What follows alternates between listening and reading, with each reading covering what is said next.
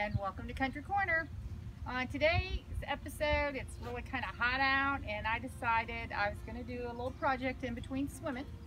And I have this trash to treasure table.